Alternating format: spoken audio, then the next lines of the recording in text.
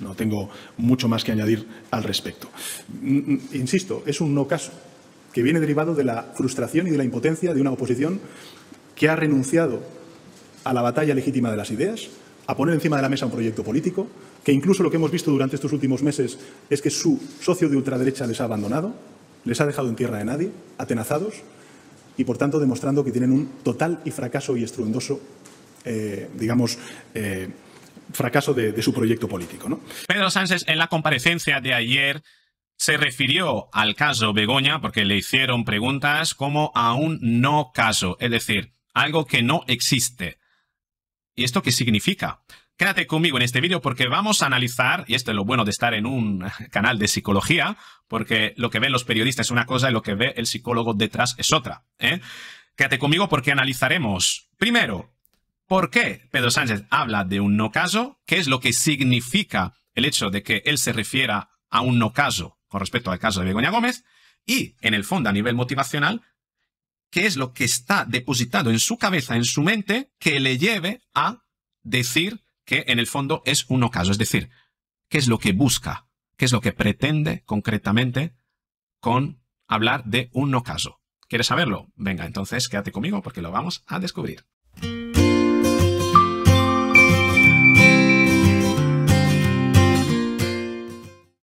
Sobre eh, la querella, ¿no?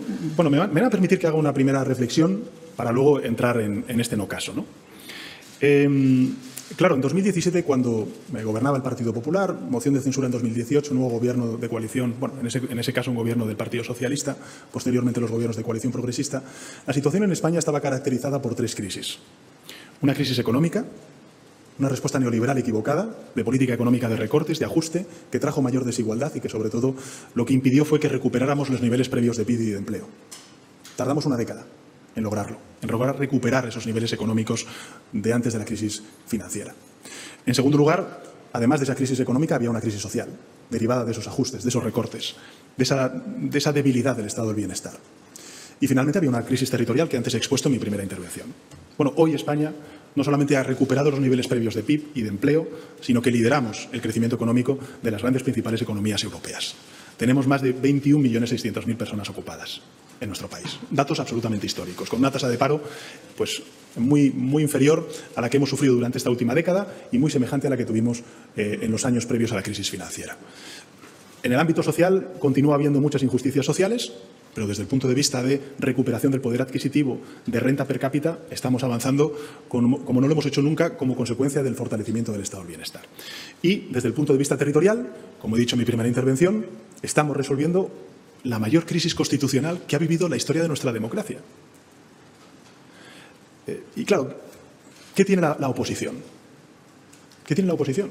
Si en economía no puede decir nada, no dice absolutamente nada. Si en temas sociales tampoco dice nada, porque aparte de que tampoco es su sensibilidad, no les sale, pues evidentemente estamos avanzando en el ámbito social. Y desde el punto de vista territorial, ¿qué pueden decir? aquellos que fueron partícipes del desastre constitucional que se vivió en el año 2017. Pues esto es lo que tenemos. Un gobierno que gobierna y una oposición que fabula. ¿Y cómo fabula? Pues en lugar de hablar de crecimiento económico te habla de un no caso. Eh, en lugar de hablar de avances sociales, pues identifica la migración con la delincuencia. Y en lugar de aportar y arrimar el hombro para resolver la crisis institucional derivada del conflicto en Cataluña, pues a todo lo llama golpe de Estado. La ley de amnistía, un golpe de Estado. El acuerdo o el preacuerdo entre Esquerra Republicana y el PSC, otro golpe de Estado. Bueno, en fin, es que España se rompe, España se hunde, pero si España es más próspera y está más unida que cuando nosotros la recogimos en el año 2018. Interesantísima esta parte donde Pedro Sánchez se refiere al caso Begoña como un no caso, ¿no? ¿Por qué esto? ¿Por qué esto? Vamos a pensarlo muy bien. Esta parte es tremendamente importante para entrar en la cabeza de Pedro Sánchez y conocer la estrategia que va a seguir de aquí en adelante. Bien. Y, fíjate, esto es lo bueno de estar en un canal de psicología, ¿no? De un, mm, en un canal de un periodista. ¿Por qué? Porque el periodista te habla de las declaraciones y especula sobre ellas.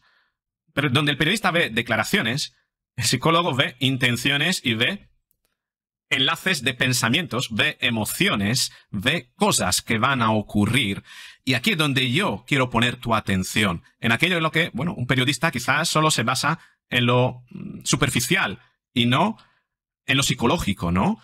Con esto Pedro Sánchez está diciendo muchísimas cosas. Primero ha repetido tres veces, no caso, no caso, ¿vale? Es decir, que para él todo aquel que tenga que ver con Begoña Gómez y con él no tiene fundamento. Y como no tiene fundamento, él no tiene nada que decir. Y por tanto, él se autolegitima en no decir nada, en no declarar ante el juez, porque no hay nada que declarar. Bien, ojo, pero ahora vamos a la interpretación 2.0, que es la interpretación de el por qué Pedro Sánchez recurre a este delato, a este relato. ¿Cuál es la motivación de Pedro Sánchez en construir este relato? Y la motivación es, ojo, mm, presta mucha atención a este paso. Mientras yo no hable del caso, no puede haber caso. Fíjate, porque esto es otra lectura totalmente diferente. De cara a la galería, de cara a lo que él argumenta para los demás, para nosotros, Pedro Sánchez externaliza que, como es un no caso, no tiene razón para hablar de nada, no tiene nada de lo que hablar, ¿vale? Y así lo justifica, digamos, públicamente. Pero en su fuera interior, la estrategia es inversa y es, mientras yo no hable de nada, no habrá caso. Es decir, que internamente los elementos psicológicos están invertidos a nivel motivacional. Y aquí Pedro Sánchez está demostrándolo. Están demostrando que mientras él no hable del caso, mientras él lo considere un no caso, nunca puede haber nada de lo que se le pueda de alguna manera, culpar. Y por tanto, esto delata la real estrategia de Pedro Sánchez, y es negar la mayor, no la menor, sino negar la mayor, repetir una y otra vez, una y otra vez que no hay caso, porque mientras él transmite que no hay caso, mientras él transmite que no hay nada de lo que hablar, no va a poder haber ninguna materia de la que culparle. Y paralelamente, crea un relato aparte a través del cual dice, bueno, como nosotros vamos bien en economía, como vamos bien en la parte social, como vamos bien en la parte territorial, es que somos irreprochables. La derecha la hemos dejado sin argumentos y como la hemos dejado sin argumentos, se tiene que buscar otra vía de la que extraer algún tipo de cuestión con la que hacernos daño, porque no nos puede hacer daño en lo económico porque España va como nunca. No nos pueden hacer daño en lo social porque no son capaces de aplicar eh, políticas sociales al nivel y crear prosperidad tal como lo hacemos nosotros a través de ayudas, etc. Y no son capaces de aplicar a nivel territorial leyes de convivencia como es la amnistía. Todo esto está en la cabeza de Pedro Sánchez, todo esto está en el relato de Pedro Sánchez.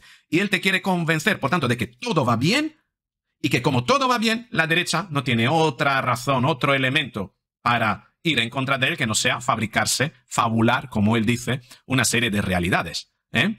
Y fíjate que él, a nivel no verbal, muestra unas señales de que todo esto lo tiene recreado para convencerte. No es que lo sienta de verdad, ¿no? está lanzándote una pantalla. ¿Y por qué lo digo? Porque él, cuando hace una pausa, sus ojos tiemblan como mirando rápidamente a izquierda y derecha. Fíjate. ¿Has visto? ¿Tú, tú, tú? ¿Los ojos? Y en lugar de aportar y arrimar otra vez más, fíjate. el hombro para resolver la crisis institucional derivada del conflicto en Cataluña, pues a todo lo llama golpe de Estado. La ley de amnistía, un golpe de Estado. El acuerdo o el preacuerdo entre Esquerra Republicana y el PSC, otro golpe de Estado. Bueno, en fin, es que España se rompe, España se hunde, pero si España es más próspera y está más unida que cuando nosotros la recogimos en el año 2018. ¿Has visto aquí? ¿Lo has visto? ¿Lo has visto? ¿Qué significa ese barrido? Es un barrido de comprobación. Él fija la mirada y comprueba muchísima cara de una manera muy rápida para observar si aquello que está diciendo está calibrando en su audiencia, el término es calibrar. Es decir, tomándole el pulso visualmente a las caras para ver si aquello que está diciendo está siendo suficientemente convencedor. Por tanto, si él realiza este gesto, es que él sabe que lo que está diciendo es un constructo, es algo construido que, con el que está tratando de convencer a su audiencia está comprobando si es suficientemente convencedor. ¿Bien? Desde luego a mí, quien no me va a dar lecciones es aquel partido que cuando gobernó este país recortó el estado del bienestar. Infligió los mayores recortes y ajustes al estado del bienestar. A mí no me va a dar lecciones ni de igualdad ni de compromiso con el estado del bienestar un partido político que abre las puertas cada vez que tiene ocasión de gobernar en España, como está haciendo en otras comunidades autónomas, a la privatización de servicios públicos. En educación, en sanidad, en universidades. Insisto, es que con este mismo sistema de financiación autonómica hemos visto los mayores recortes. Pues gracias a ello, he de decirte que eh, yo eh, he tenido que ir al médico recientemente. Mi comunidad mm, gobierna el Partido Popular. Eh, me había encontrado en una parte del cuerpo un bulto y me han pedido una mm, ecografía. Y en dos semanas la ecografía está realizada, el médico dispone de ella, tiene el diagnóstico y ya me ha dicho de qué se trata. Y esto gracias a que hay conciertos en mi comunidad con entidades privadas que se hacen cargo de agilizar ese tipo de eh, gestiones, ese tipo de visitas. De haber tenido que esperar solamente a, la, a que em, las colas a nivel público eh, me hubiesen dado la oportunidad de tener esa ecografía, quizás hubiesen pasado meses. Y a lo mejor mi problema se hubiese agravado. Hubiese estado más en la duda de qué es lo que me pasa, qué es lo que tengo, ¿no?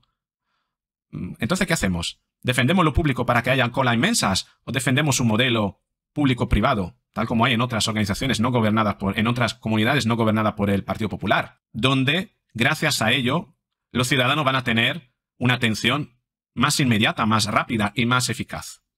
Al final, ¿qué pretendemos? La ideología, y por tener ideología colas larguísimas y dificultad de acceso a determinados diagnósticos y determinados especialistas.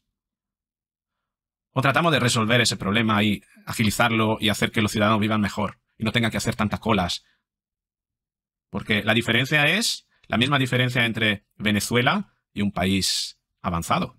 Venezuela, un país donde no hay medicamentos, donde todo está racionalizado frente a un país donde todo funciona, bueno, público-privado. Pues bienvenido sea si esto facilita a la gente. Mal sería si diésemos prioridad a la ideología y por dar prioridad a la ideología, que todo tiene que ser público, al final colapsásemos a través de listas de esperas infinitas a la ciudadanía y la desquiciásemos, ¿no? Y me he querido parar en este trozo porque me pareció muy interesante, aunque no tenía nada que ver con el no caso, pero bueno, te lo quise poner en este, en este vídeo. En fin, ¿has captado bien cuál es la real intención de Pedro Sánchez en hablar de no caso? ¿Y cuáles pueden ser las consecuencias? ¿Y qué te parece? ¿Crees que es una decisión acertada por su parte en pro de su beneficio? Claramente que no es el nuestro, ¿no? ¿Y qué crees que va a pasar de aquí a un futuro? ¿Crees que realmente manteniéndose firme en ese no caso, Pedro Sánchez va a conseguir salirse con la suya? O tal vez llegará un momento en que la realidad le vaya a atropellar como un tren imparable, ¿no? contundente, inexorable, que le va a dar finalmente una dosis de realidad que va a apagar incluso políticamente. En fin, te espero en los comentarios para que me des tu opinión. Si te ha gustado el vídeo, dale al me gusta, compártelo, suscríbete, activa la campanita y así nos veremos en el próximo vídeo.